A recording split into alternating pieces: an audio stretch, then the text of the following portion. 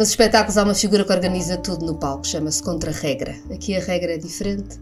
Conversamos para destruir preconceitos, para organizar uh, ideias. Este podcast chama-se Contra-Regra. Sou Catarina Martins. Há sempre alguém com quem conversar, de áreas diferentes. Hoje Uh, é o Sérgio Godinho, que é uma coisa bastante importante e diferente. uh, as músicas de Sérgio Godinho fazem parte das nossas uh, vidas, das nossas biografias. Sou, acho que somos muitas, muitas das gerações que se apaixonam com um brilhozinho nos olhos, que anunciaram que iam ter filhos com espalhem a notícia e que quando há coisas que metem medo e que vão mudar tudo, pensamos, este é o primeiro dia do resto das nossas vidas. Sérgio Godinho é também muito, nas suas canções, a biografia de uma democracia em Portugal e nunca saudosista, sempre a pensar neste momento. Tens muito esta ideia de que as pessoas olham para as tuas músicas como sendo parte da vida delas. Quer dizer, acabam por me dizer isso e muitas vezes de uma maneira muito simpática, geralmente, não é? Quer dizer, eh, de uma maneira muito simpática, antes de mais nada, é também uma alegria estar aqui. Eh, eu assinalo, antes de responder à tua questão, assinalo que tu disseste as músicas de Sérgio Godinho. E é curioso porque, de facto, eu, eu, eu, eu considero-me um músico. Mas nesse músico existem canções. Canções, claro, são as e, canções. E, mas tu não disseste, mas não, não está mal, não, não disseste uh, as canções de Sérgio Godinho, que podias ter dito e era legítimo. Uh, mas as músicas, a música é realmente o essencial disso tudo. Sem elas não haveria uh, canções, não é? E, e, portanto, eu quando, quando tenho que preencher qualquer coisa e tenho que preencher a minha ocupação ou profissão, digo músico, embora seja muito mais que isso. Sim, aliás, pronto, nós hoje, nós hoje combinámos falar de canções, sobretudo, Sim. mas quer dizer, tu, tu fazes muito mais do que canções, escreves, fizeste teatro, cinema, tudo um pouco. Sim, e tenho escrito bastante ficção, ficção narrativa, também poesia. eh, mas uh, são tudo, a, a, digamos, ligado a artes criativas ou à criação. Vá lá. Uh, a criação é aquilo que me, que me faz. e sempre a pensar. Diz, diz. E, e, quer dizer, tanto nas canções como no resto que tu escreves, sempre a pensares um bocadinho agora, não é? O momento que estamos a viver. Tens sempre uma reflexão sobre. Sim, não, nem sempre é, é, completamente ligado ao presente. Até porque, repara, eu não sou muito. Não escrevo muito. É raro eu escrever só um momento presente daquilo que está a acontecer. Uh, geralmente há um recuo uh, e é curioso porque eu ontem, nada mais que ontem, não, uh, domingo, tive um concerto em, em Braga, naquele maravilhoso teatro de circo muito bonito. Uh, e, e cantei as Fotos de Fogo, Fotos de Fogo, canção chamada Fotos, Fotos. de Fogo. Mas assinalei qualquer coisa que suscitou uh, essa criação, que, é o, que, foi o massacre de Iriamu. Uh, faz agora 50 anos e, portanto, isso não é ligado à realidade, é ligado à lembrança traumática, com certeza, de uma realidade, e neste momento, até, até ao assumir enfim, também porque era uma efeméride, vá, uh, enfim, pelos... Sim, pela primeira vez, pela, pela, primeira vez houve um órgão de soberania, não é? no caso a Presidente da Assembleia da República, a reconhecer. A reconhecer, é e houve o Primeiro-Ministro também, então... enfim, bom, houve várias entidades a reconhecer. Eu acho que não é que eles não tivessem reconhecido, já sabiam, mas pelo menos a formalizar esse reconhecimento. É? Começa a haver na Europa agora um determinado reconhecimento de massacres, eh, na, nos Países Baixos há um pedido, de, há, há todo um reconhecimento, ah. todo um trabalho que está a ser feito à volta disso. Em Portugal nunca se falou muito da guerra colonial, nem, nem do que aconteceu. A guerra colonial durou mais anos do que a Segunda Guerra Mundial, milhares oh. e milhares de pessoas morreram. Morreram ou, ou, ou ficaram com a vida desfeita, ou, tiveram, ou voltaram estropiados, ou, ou, e, e digamos na chamada flor da idade foi brutalmente interrompido. Eu acho que foi eh, uma das razões porque não uma das razões, quer dizer, eu para já era contra essa guerra. Uh, felizmente cresci num ambiente que os meus pais também, e meu pai sobretudo, que era completamente anti-salazarista, embora não praticasse muito, mas na família dele tinha tido muitos casos. Uh, e, e, essa guerra sempre foi mal vista. E eu, quando parti de Portugal, uh, sabia, parti legalmente ainda, estive a estudar, estive a estudar Psicologia na Suíça, etc. Pronto, várias histórias. Mas uh, sabendo que quando me chamassem, que eu não ia, muito simplesmente não, não ia. Mas quer dizer, eu, eu sei que de gente que, que foi, aliás, até foi uma diretiva, por exemplo, do do, do PC. Houve posições diferentes na resistência antifascista sobre o que é que se devia fazer com a guerra? Não, não é? até, de, digamos, no sentido de ir à guerra e consciencializar claro. Sim, os soldados, não é? Portanto, isso era também legítimo. Não estou a dizer que não me consideram um herói por ser nem sequer desertor, refratário, não é? Simplesmente era uma coisa que eu não, que eu não queria uh, viver. É ainda muito difícil falar sobre isso. Ou seja, é ainda hoje muito não há nenhuma família em que não haja alguém que foi tocado pela, pela guerra. E quer dizer, eh, são 50 anos, já lá vão 50 anos e ainda, não, e ainda é muito difícil falar de tudo. Eu estive a ver quando tu escreveste as fotos de fogo, que é alguém, não é? Está um homem a mostrar à lareira as fotografias e, e a Sim, recordar. Sim, e que vai. É, é, é a história, as fotos de fogo é a história de um de alguém que foi soldado e que mostra o seu álbum de fotos uh, alguém, alguém mais novo e vai explicando o que significa cada foto. Né? É uma canção fortíssima, eu acho. Eu, eu, eu, foi uma canção que me, foi quase arrancada frase a frase, mas porque ele vai tomando consciência durante a canção eh, dos horrores em que ele próprio esteve envolvido e do qual foi também, à sua maneira, um protagonista. Há uma frase que é que é que eu acho que é terrível, que é atrás da cor de sangue vou seguindo em fila quando eles vão, enfim, vão, enfim, é? e, e essa essa frase atrás da cor de sangue vão seguindo em fila Uh, vou seguindo em fila e, e, atrás da cor de sangue, soldado não vacila. É, é, eu acho que resume um pouco os horrores da guerra, não é? E essa, e, não, e mais, essa espécie de inconsciência em que se, se torna no, pela missão uhum. e, por, e pela missão em que está a ser investido e por ser uma, uma, uma espécie de muitas vezes não uma decisão individual, mas uma decisão coletiva e, e que és mandado para essa frente, uh, é, é, sentes-te justificado, não é? Nesse, nesse horror. Uh, pronto, enfim, eu, eu, na, na preparação desta nossa conversa, fui ver essa, essa canção, foi escrita há quase 30 anos. E se agora ainda se fala tão pouco, mas se começa a falar, eu suponho que há 30 anos deve ter havido muita gente quando ouviu a canção, ouviu pela primeira vez alguém publicamente a falar do que sentia, a falar do que viveu. É verdade, e, tive muitos ecos disso. E até de, curiosamente, do pai de um, de um músico que tinha estado lá e que ficou muito abalado com a, com a canção, porque tudo o que estava ali, digamos, de certo modo coincidia. A canção não falava só de. A canção foi inspirada eh, de facto, porque houve uma, uma reportagem eh, no Expresso sobre eh, o IRIAM. Mas também era a altura da Guerra dos Balcãs e havia todos aqueles massacres, enfim, étnicos e não só políticos, Sim. claro, mas uh, uh, étnicos também, de massacres de indiscriminados de civis e, e aquela coisa horrível de se pensar para um miúdo de 20 anos vai para lá, põe-lhe uma farda e agora pá, vais fazer aquilo que te mandam. Não é? Essa, essa, essa, enfim, essa legalização do horror.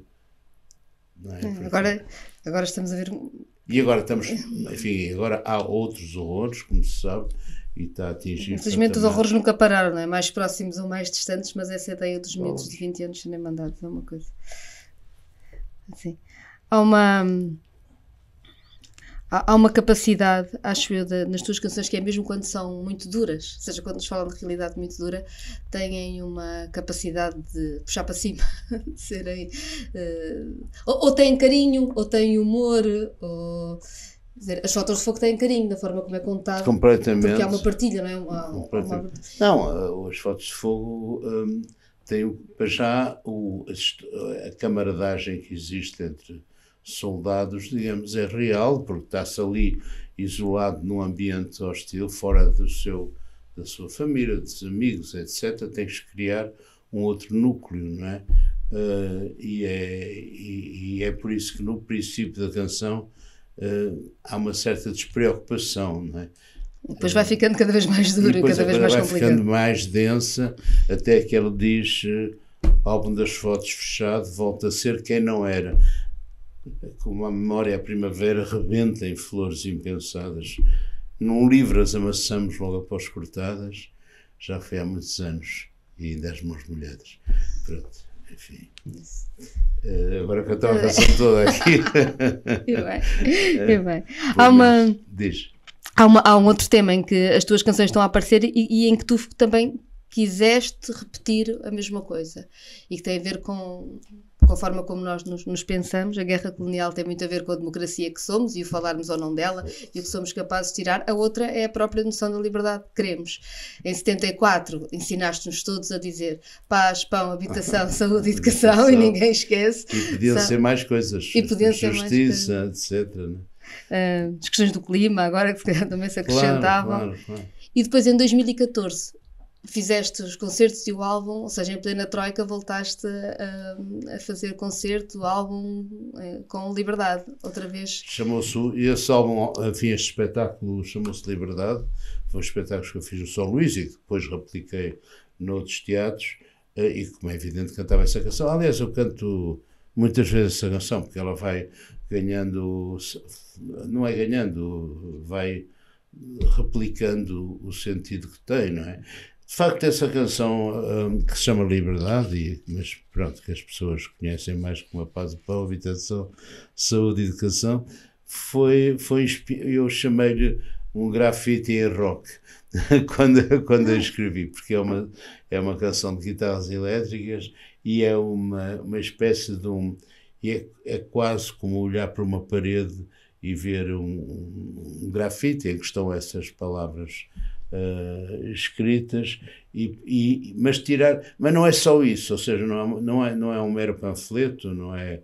Tem esse lado um pouco panfletário, mas uh, propositadamente, mas é também uma interrogação, porque o, o essencial é dizer que a, a, a a palavra liberdade pode ser oca se não é preenchida com sentidos em cada um destes items e também noutros, por isso é que eu falei há bocado da justiça e outras coisas, e também como falaste das, das, das, das uh, alterações climáticas, etc. Mas uh, é o, o perguntar só há liberdade a sério quando houver isto, não é? E outra coisa que é lá dita, que é liberdade de mudar e decidir. Isto, isto, isto ramifica para outras áreas, porque liberdade é liberdade de mudar. E muitas vezes não tens a liberdade de mudar, porque por forças tuas, por forças externas, por forças financeiras, isso até vale para outros, para outros setores, porque se a gente pensar no problema premente da violência doméstica, etc., porque é que sabemos que são a maior parte das vítimas são mulheres, embora também já homens, como é, como é evidente, mas uh, na maior parte mulheres, e, e, a gente pensa, mas porquê é que depois do, da primeira porrada ou da primeira versão ela não se, se vai embora? Uhum. Porque há tantas, tantas circunstâncias que o, muitas vezes que não deixam a liberdade de mudar, lá está, uh, financeiras, filhos, de amor até, de, de, de, alguém que pediu desculpa e do poder que se adquire. Isto é muito ambíguo porque o poder que se adquire em perdoar é também algo de que é muito do reino das trevas, não é? Percebes? Sim. Então, uh, tu perdoaste, ganhaste esse poder e agora julgas que vai estar tudo bem. Uh, e não vai. E não vai. E na violência doméstica, claramente, claro, não vai, claro, já, claro. Se, já se percebeu, mas é, é, é, mais fácil. Portanto, essa liberdade de mudar, eu acho que é, uma, uma pedra de toque que também existe nessa, nesta canção como, como como tema. Uh, quando, quando, houve, o, quando há uma, uma canção que é, que é muito divertida e que também aparece muitas vezes de forma diferente, que é o Cor das Velhas. Ah, sim. E, é, fala das, das dificuldades da vida, não é? E achei piada porque lá está, por, por, por diferentes, por, por, por, momentos diferentes, uma coisa que eu que é que nos anos 80 já se usava a mesma palavra da austeridade para a ideia de empobrecimento. Ah, com esta da austeridade, e, portanto, senhor, com, nem sequer dá, dá para ir desta para melhor. melhor.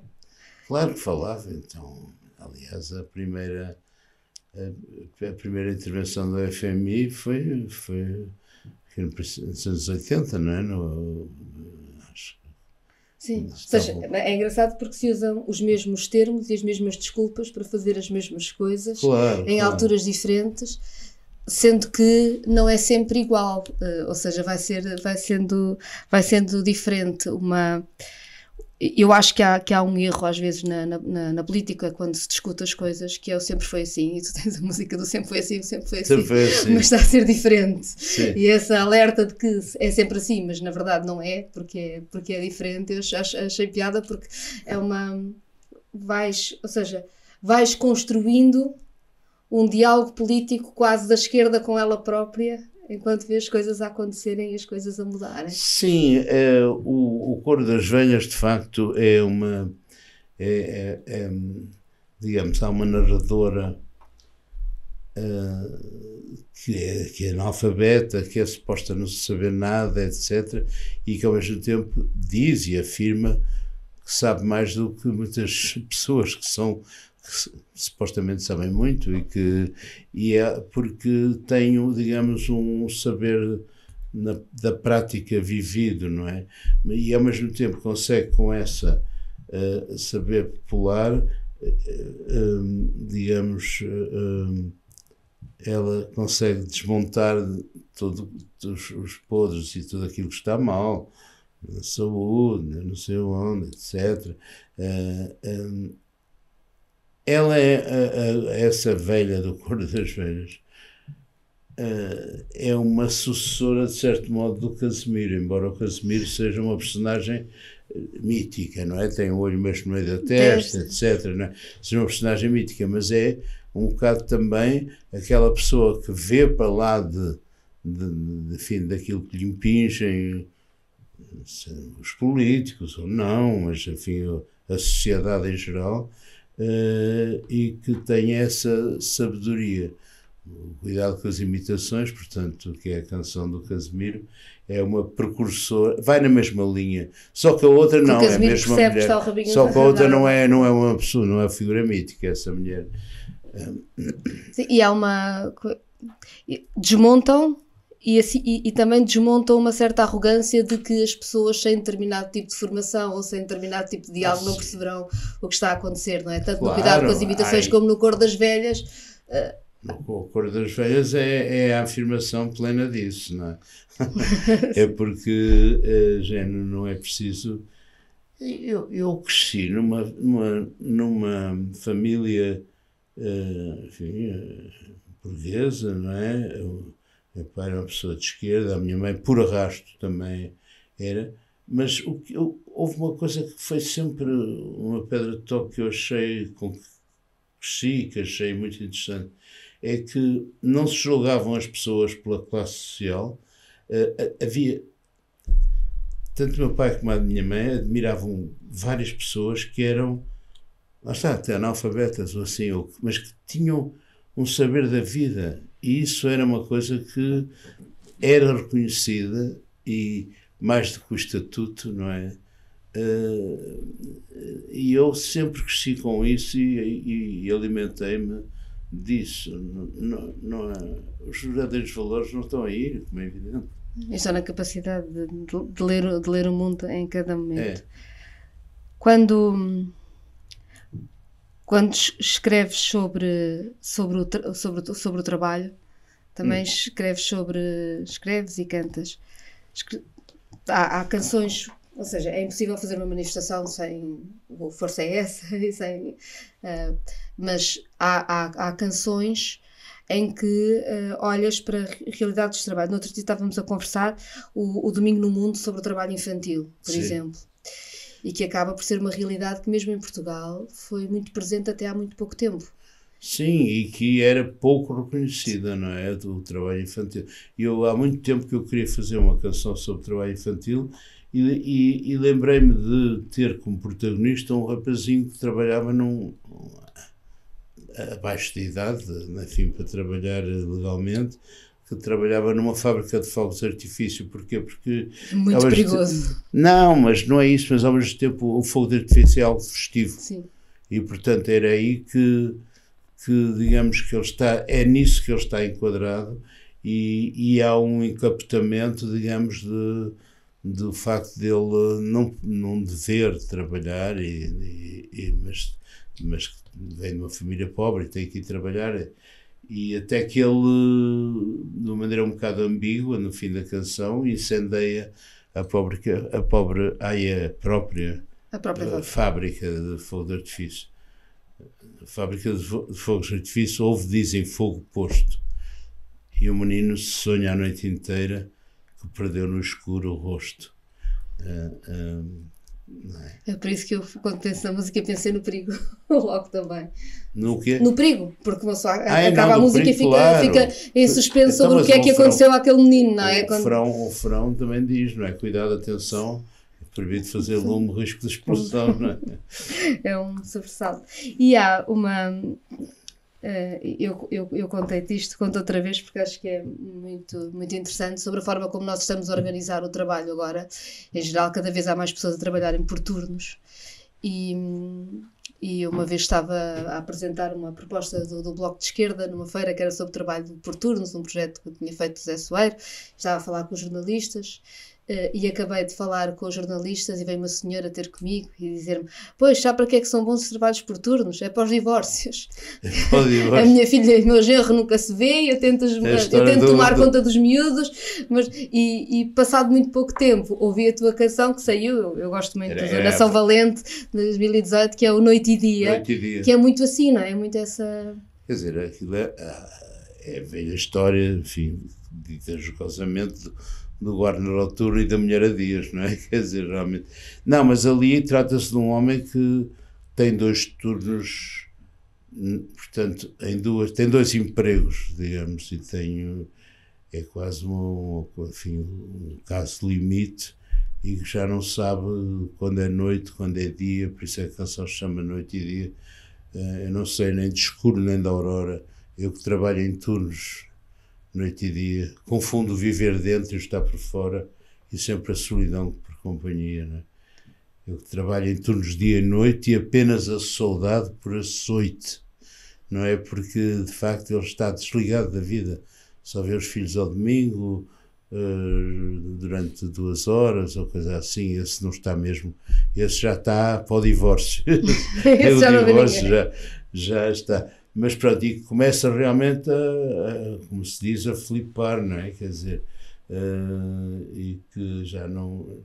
E essa, essa, enfim, essa noção da, da perda de dignidade no trabalho é, é, é muito recorrente, não é? Quer dizer, não é preciso ter de, ser um caso tão limite como eu o pus aqui, mas é muito, muito recorrente. E a falta de, de, de horizontes e de esperanças, não é? Uh, uh, o Maré Alta é de 71. É antes de, de é da Revolução. O disco é do, do e, dos sobreviventes. E antes de saber. Uh, e é uma canção que aparece com a força de quem sabe que isto vai mudar. Porque o, o, o Maré Alta é, é, a canção que tem a letra mais curta minha, penso eu. Porque é só aprender a dar companheiro, aprender a dar companheiro, que a maré se vai levantar que a liberdade está a passar por aqui três vezes, que a liberdade está a passar por aqui, maré alta, maré alta, maré alta. Agora, essa frase, que é a frase-chave, que a liberdade está a passar por aqui, é, é, é, uma afirmação que foi feita numa altura em que não havia liberdade, não é? É evidente que quando eu vim depois de 25 de Abril e eu cantei, visto que eu tive, eu tive nove anos fora de Portugal, enfim, uh, e sobretudo sete anos sem poder vir a Portugal, vá. Uh, mas eh, quando eu vim, claro que fez todo sentido. Mas também fazia um outro sentido porque era uma afirmação uh, de luta. De facto, era o solo que nós pisamos é livre, defendamo-lo. e, e essa, essa, portanto, é uma afirmação de, de, sim, de luta por um futuro melhor, não é? Agora, a liberdade está a passar por aqui não te enganes, e não estava a passar por ali. Portanto, parecia, podia parecer se fosse uma coisa só ficasse no, no realismo tal qual, que era desajustado, mas não, é, é, um, é uma vontade, é um desejo. Nós temos a liberdade, não é? E, portanto, não, temos, e é um que desejo fazer também acontecer. que a liberdade passe por aqui, que a gente a faça acontecer, claro. quando, quando há uma altura quando escreves sobre, ou seja, eh, depois de 25 de abril escreves sobre a liberdade, todos nós aprendemos a, a declinar a liberdade das várias é, coisas com é, as tuas é. canções.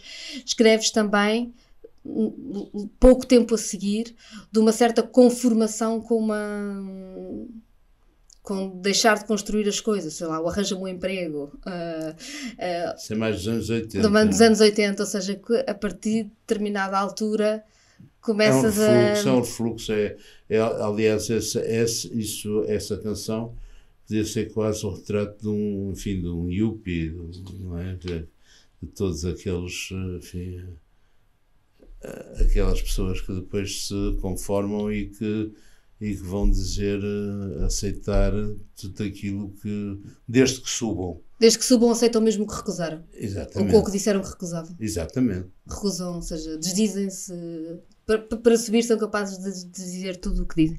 Mas, e há uma, há, uma, há uma canção, ou seja, há um, há um tema que tu tratas de várias formas na, nas canções, não sei se é o mesmo, se é um abuso da minha parte, dirás, que é o problema do, do, do fascismo, do, da minhoca na, na, maçã, de lá isso é, e depois a determinada altura da, eu, eu ouvi-te a cantar isto num concerto ao vivo com muitos estudantes universitários da massa com bicho, praxe, eu acho que é isto. Ou seja, esta conformação também foi feita por muitas formas, incluindo pela praxe. Não, a maçã com bicho é uma canção que dá pancada na praxe, não é? Quer dizer, maçã com bicho, acho eu, da praxe. Aliás, é tudo com X.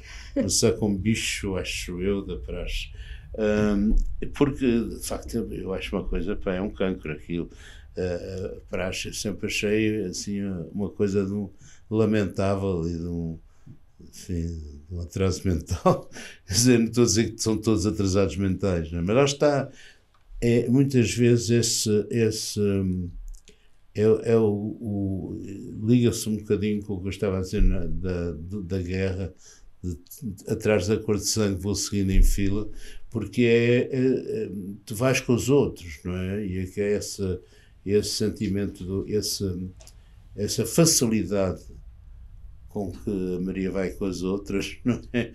É, é, terrível. E também o, o, desejo de pertencer e de não ser uh, rejeitado pelo grupo, de, porque até porque te fazem muitas vezes ameaças quando tu és calor, pá, tu depois não vais poder participar nisto, naquele outro, etc. E portanto, até pá, isto é assim, e depois, e mais, e tu sabes que quando és prachado, que no ano seguinte podes estar tu a prachar, não é? E, e, e então é quase como um, ritual de humilhação para ascender, para pertencer, não é? E tu, e tu aceitas esse ritual de humilhação, de, enfim, não vou descrever porque é demasiado degradante, mas essa... das coisas que, que, são, que são, entre aspas, obrigados a fazer e que até gostam de fazer porque aquilo é assim uma coisa divertida. Está giro. Não tiveste quem reagisse mal à música? Hã? Não tiveste quem reagisse mal à música? Não, mas, quando eu não mas fiz aí, mas cantei essa canção em, em queimas das fitas. Eu... Não, a sério, a sério, eles ficam. Quer dizer, no fim de contas, haverá bastantes que ficam a pensar, ela até tem razão, mas isto também é uma coisa que passa e tal. Enfim, é, sobretudo é, eu acho que são comportamentos que de grupo, os comportamentos de grupo são muito estranhos, percebes? Muitas vezes são de uma irracionalidade, não é? Em tudo. Sim, em tudo. Sim. Por exemplo, uma das coisas que a mim horroriza é os linchamentos, não é? quer dizer, que uma pessoa vá atrás de, de outros, vai, vai ser, vai ser que alguém é acusado claro. uh, com ou sem razão, uh, mas vai ser acusado e vão linchar até a morte muitas vezes. Uma pessoa é, mim, é, uma, coisa, é uma coisa que a mim me, me, causa arrepios, não é? Percebes? Enfim. Faz tudo parte da de, de, psicologia de grupo. Talvez eu seja um bocadinho individualista. eu, sim, eu acho que consegues sempre, ou seja, escrever, uh, escrever canções que têm uma ideia de, de coletivo, de, de, olhar para o futuro, de cuidarmos uns dos outros, de construirmos e depois ao mesmo tempo de meter no meio as coisas que nos fazem pensar, precisamente para não andarmos todos atrás uns dos outros a é, pensar, não é? E isso é indiferente. Não gosto de carneiristas, também não, não gosto de, não é? O, uma vez ouvi uma frase do Vitorino Nemésio que era, em que ele dizia, aquelas charlas, não sei, eu não estava cá, mas depois passaram na televisão há relativamente pouco tempo uma revisão assim pequenina e em que ele dizia o, as massas são, são gregárias e rebanhegas, ou seja, rebanhego de rebanho. Ah, ok. rebanhego, eu nunca tinha ouvido essa palavra, achei, achei, achei muito curioso. Uh, porque essa é, é preciso não cair no rebanho, não é? É preciso ter ao mesmo tempo. Não estou a dizer que não se, uma pessoa, não, acho bem, que as pessoas se associem em, em objetivos comuns e, que, que, que ajam, etc, e que ajam e que se manifestem, não é? Mas, uh, mas é preciso cuidado com esse com o rebanho. eu tenho uma... muito, sempre um pé atrás. Eu quando vim, desculpa, quando vim depois do 25 de Abril, um, eu tinha estado muito envolvido no maio de 68, uhum. percebes? E havia uma altura no maio de 68 em que se achava que o caminho ia ser sempre para a frente. Até que, de repente, houve um refluxo e, e, e aprende-se com a história, não é? Que há passos à frente e há passos atrás e depois tem que se construir outra vez outros passos à frente.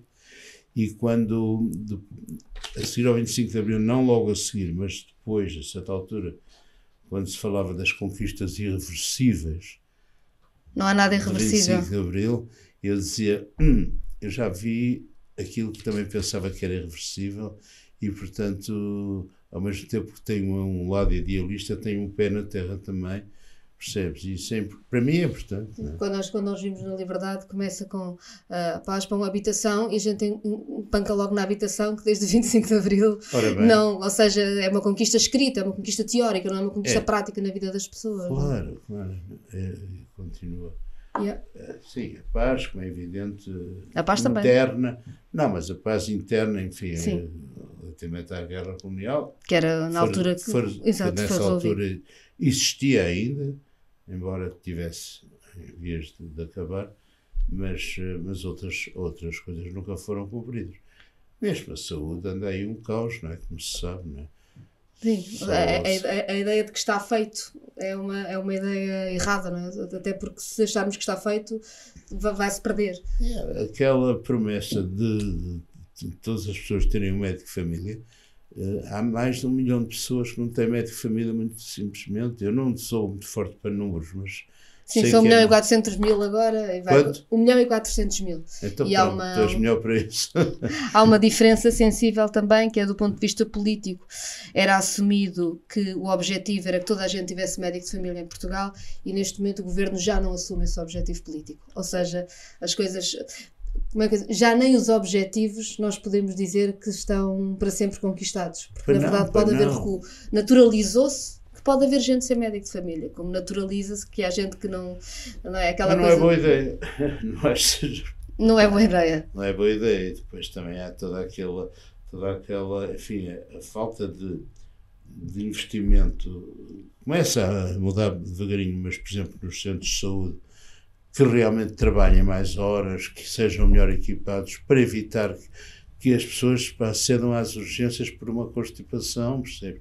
As pessoas vão às urgências por uma constipação porque não sentem que não têm outra resposta, não é? Quando às urgências... Sim, mas também há uma, há uma generalizou-se uma, uma convicção popular para que tem que ser à urgência. Qualquer coisinha se vai à urgência. É preciso também as pessoas terem essa consciência de si próprias, percebes? Isso também tem a ver com a educação, com a pedagogia, não é? Também que se calhar não está a ser feita, não é? Com a proximidade dos próprios cuidados de saúde, para as pessoas confiarem, claro, pessoas, claro. ou seja, os centros de saúde deixarem de ter meios de diagnóstico, etc., tornou-os mais frágeis. As pessoas sentem que, vão se precisarem de um exame, e têm de ir para as E urgências. estão lá 10 horas, não sei quantos entopem as urgências.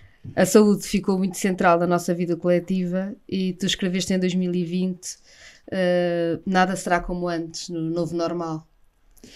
Ah, O Novo Normal foi uma canção que eu fiz eh, que, que aliás não está gravada, está só enfim, online, mas foi uma canção que eu fiz no primeiro confinamento, eh, quando apareceu toda esta, esta, treta desta pandemia pá, eh, que nos baralhou completamente a vida, a vida e e o trabalho, a profissão, porque o meu trabalho não se faz em teletrabalho, enfim, pode ocasionalmente, mas, eh, mas pronto, não falando só de mim, mas depois daquele primeiro bombardeio, no primeiro bombardeio de informação desta nova doença, desta, os novos comportamentos que tinham que, o, o, os, os relatos horríveis das pessoas a morrerem e não poderem sequer ser acompanhadas, não é? Nem sequer no, no, no enterro, no, num velório, não é?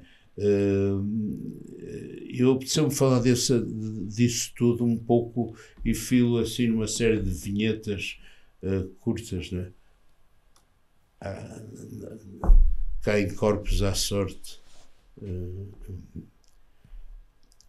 num, num silêncio de morte, cortado só por soluços distantes, as pessoas não podiam estar perto. Todo, todo, esse, todo esse retrato hum, da, da incerteza do que não se sabia, inclusive desta doença, nem sequer maneiras de a tratar, não é? Agora, para todos os efeitos, há vacinas, embora elas não, não resolvam o problema, não é? Porque continua-se a ficar doente. Mas, é, mas, mas ficámos mesmo diferentes, não é? Na forma como estamos uns com os outros. E eu não sei, Ou, quer dizer, ou já fica. voltámos ao normal. Ah, ah, quer dizer, é um novo normal. É mesmo um novo é um normal. novo normal eh, estar assim. Eu penso que sim, por um lado há, há uma consciência um bocadinho maior, porque isto bateu de uma maneira de tal maneira eh, forte em todos nós e, e agora numa altura em que na altura em que parecia assim uma, um em que morria muita gente e havia muito mais condenações eh, eu tenho felizmente só tive um, um, um grande amigo que morreu, mas também já tinha tido um- já tinha tido um, um cancro e portanto estava um bocado pauperado a nível de imunidades, mas eh, sei lá, eu, eu penso que de vez em quando aparece qualquer coisa, por exemplo, a cena, ainda, ainda há bocado antes de começarmos esta conversa, falaste da, de uma canção chamada As Armas do Amor, Ahm, ah, que foi feita na, na sequência do aparecimento da, da SIDA, não é? Da SIDA como um, um, um fenómeno que, que começou, enfim, muito localizado, mas se transformou também num, num, num problema mundial, é? E que era uma sentença de morte eh, inapelável, não é? Quer dizer, eh, o aparecimento da SIDA antes de existirem os retrovirais e, e tudo isso. Simplesmente, a, a, a, a SIDA, para dizer a verdade, a SIDA tinha várias maneiras de ser propagada. É evidente que o contacto sexual seria a, mais prevalente, Mas ou é, é mais prevalente, mas há outras, as transfusões de sangue com sangue contaminado, o, o- as- as- a partilha de seringas e outras coisas, mas pronto, digamos que há atos voluntários que, que ajudaram a essa disseminação. No caso da, da, daqui do corona, enfim, do, desta doença, eh, do Covid, eh, é respirante muitas vezes, não é? Quer dizer, Resta saber como é, que vamos, como é que vamos saber daqui a uns anos o que é, como é que isso mudou, não é?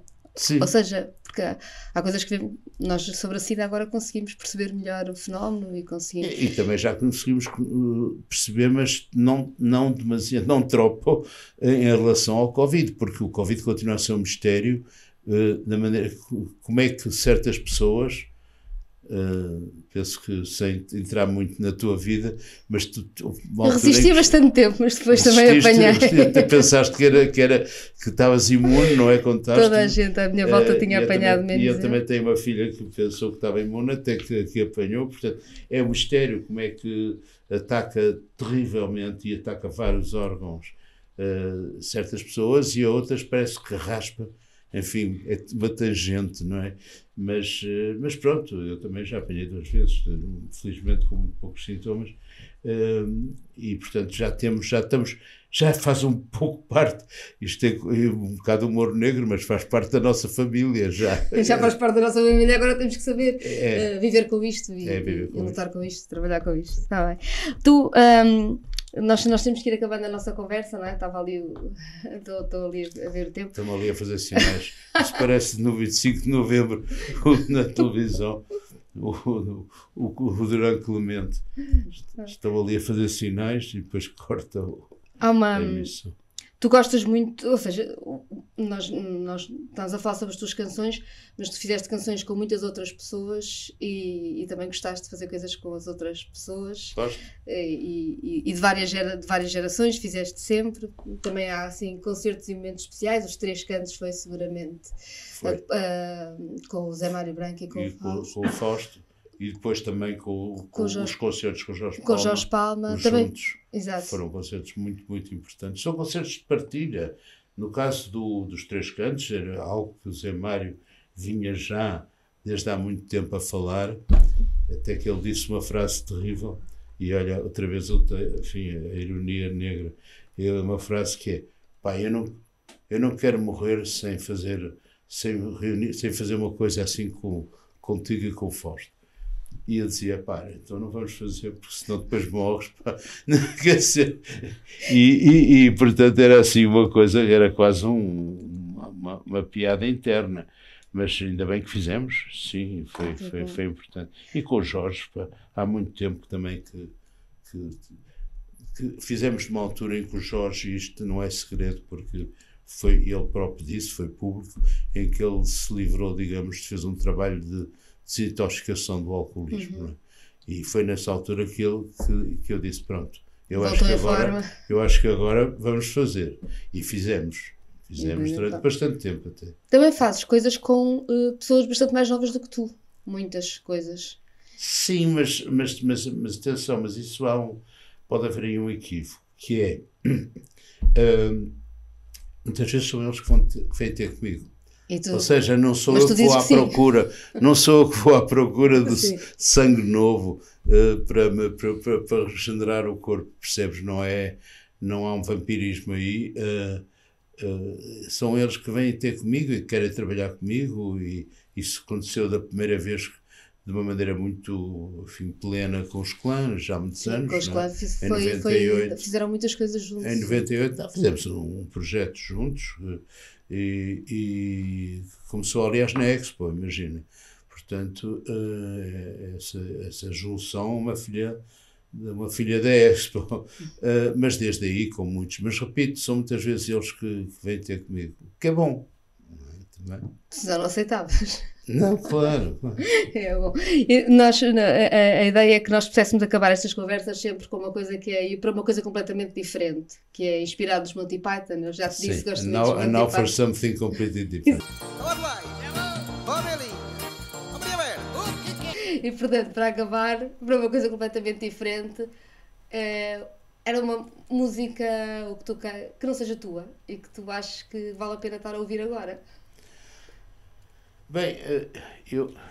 Bem, haveria tantos casos, mas eh, eh, eu gosto muito da Márcia.